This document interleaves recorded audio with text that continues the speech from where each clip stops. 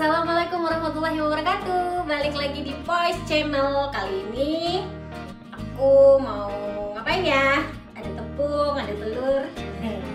Kali ini aku mau uh, menun, uh, menuntaskan atau menunaikan janji ya.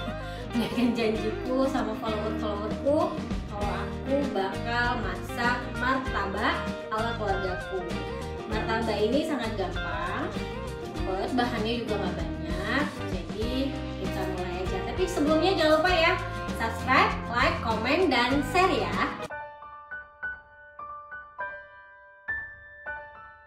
Oke, bahan-bahannya apa-apa aja. Ini sangat gampang dicari. Uh, Ada tepung terigu Ada telur Ada margarin Ada garam. Ini ada cuka putih terus ada cabai hijau ada kecap air hangat terus ada juga air biasa kira-kira 550 liter. Oke okay. eh kalau 550 150 uh, mili ya. Oke okay, uh, eh, kita akan mulai. Sebelumnya saya udah cuci tangan dulu. Uh, jadi jangan khawatir ini buatnya bersih kok.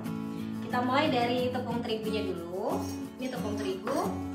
Terus kita pecahin telurnya satu jadi 250 gram tepung terigu hanya butuh satu telur atau sampai dua telur. Nah biasanya aku cuman pakai satu telur. Terus uh, dimasukin garam secukupnya ya karena nanti juga asin karena pakai margarin lagi. Terus dimasukin air.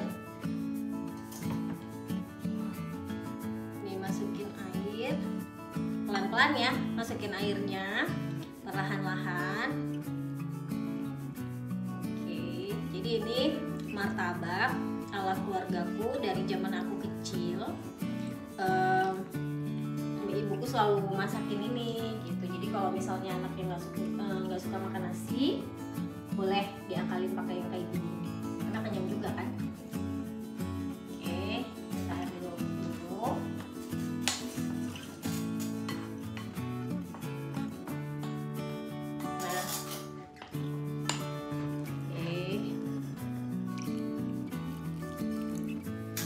ini request yang paling banyak di instagramnya aku buat martabak ala keluargaku nah pada teman-teman yang pada main ke rumah atau uh, anak-anaknya teman-temanku kalau anak bawa bawa ini ke sekolah tuh pada nanya ini buatnya gimana sih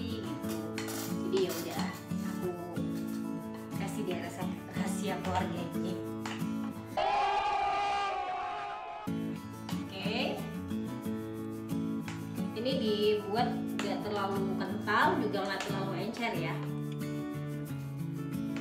Nah berhubung banyak yang menggumpal ini banyak yang menggumpal jadi aku e, biasanya suka pakai e, blender biar gumpalannya hilang. Tapi teman-teman kalau misalnya adonan yang mau dikasih margarin boleh juga. Gitu oke kita blender sekarang ya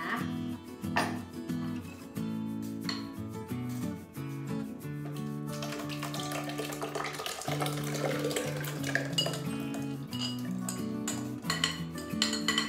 berhubung kita menunggu blender selesai, kita buat kuahnya dulu. Nah, aku tuh lebih seneng pakai cabai hijau. Kenapa? Pedasnya itu pas.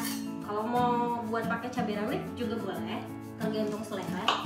Cuma kalau kita sih emang lebih suka pakai cabai hijau. Cabai hijaunya diiris kecil-kecil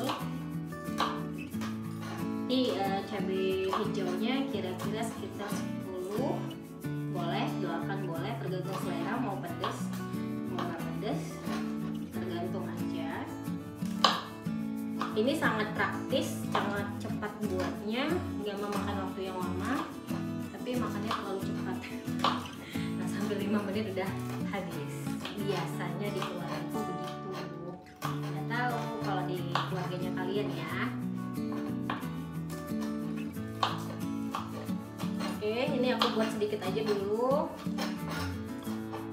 Secukupnya. Oke selesai. Ya maaf ya ini uh, koki amatiran uh, eh, ininya masih amatir sekali. Oke. Nah terus aku punya sendok.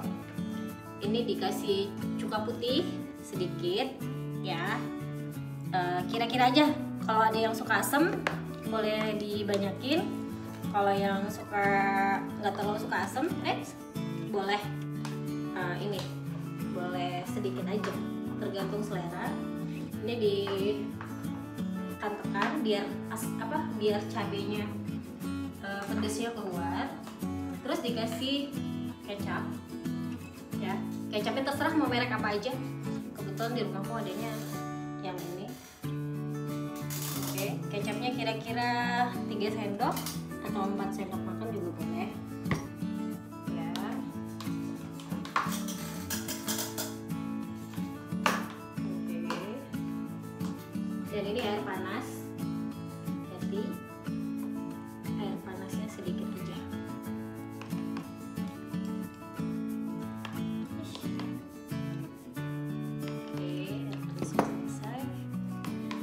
kuahnya udah selesai nih.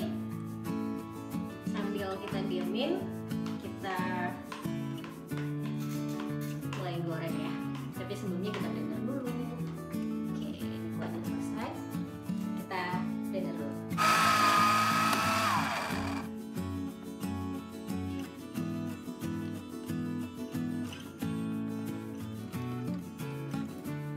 Kira-kira seperti ini kekentalannya panaskan wajan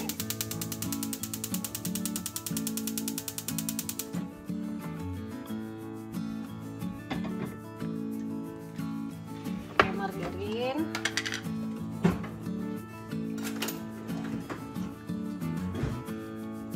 maaf ya kalau suaranya agak berisik soalnya uh, pengisap uh, asapnya dihidupin Oh God! No, God, please no!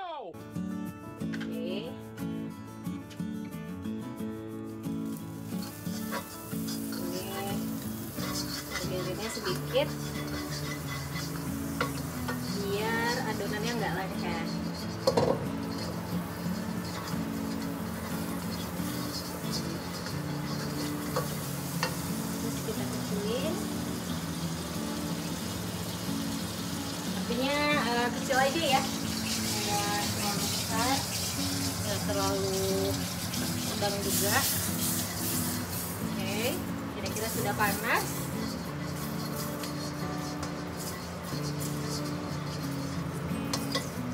Kalau sudah panas kita tuang adonan.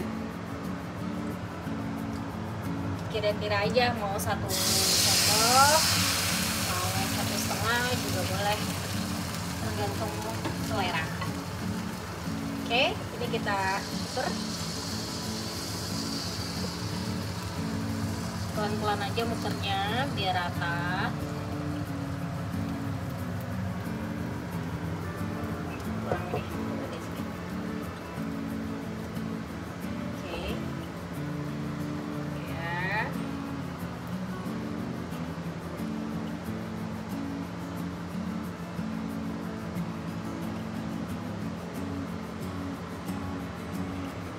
kalau sudah rata, biarin sambil kita cemplungkan eh, telur. Jadi isiannya itu boleh telur, boleh kornet, tergantung selera. Cuma karena di keluarga juga lebih doyannya telur, jadi kita pakainya telur. Nah kalau kayak gini kan lengket nih, dikasih sedikit margarin,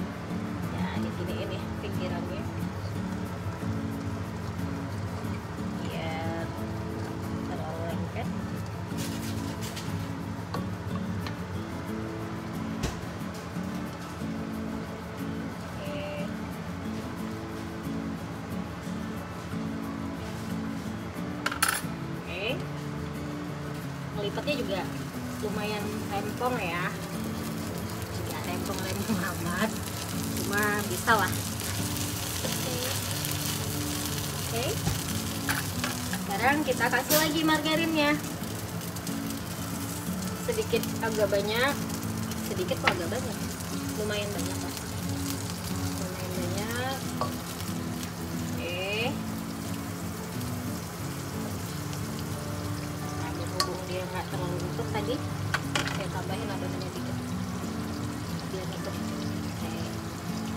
dibiarin uh, sampai tingkat kematangannya uh, sudah matang tapi kalau bisa ditutup biar matangnya lebih cepat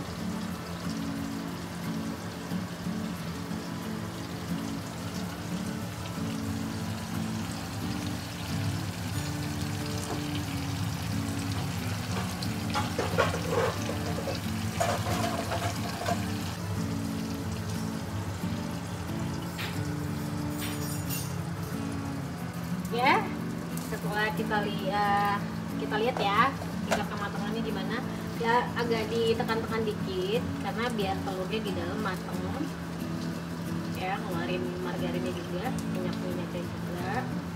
Jadi kita lihat udah matang belum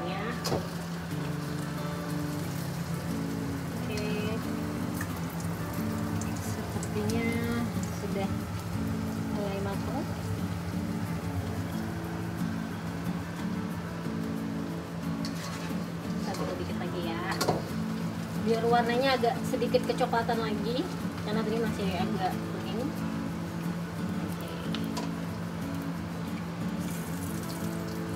ya kayaknya sudah mulai matang. Kita angkat. Ya kita matiin dulu. Dan adonan 250 gram tepung tadi itu bisa dapat sekitar eh, apa ya 4 sampai 5 uh, martabak seperti ini. Oke udah selesai. Kita letak oke. Ya udah selesai buat martabaknya tadi. Nah, hasilnya seperti ini. Oke sekarang kita potong-potong sesuai selera biasanya aku motongnya seperti ini. Tuh isi dalamnya telur yang kita pecahin tadi di dalamnya. Ya ya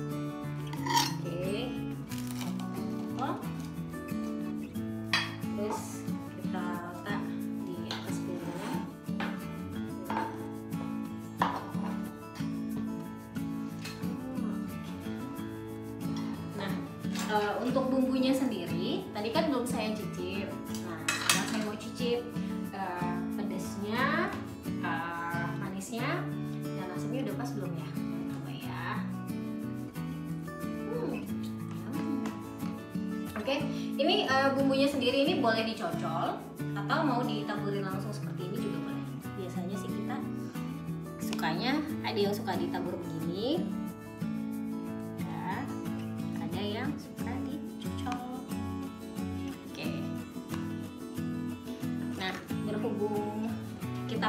suka mau goreng, jadi kita kita bawang goreng sedikit.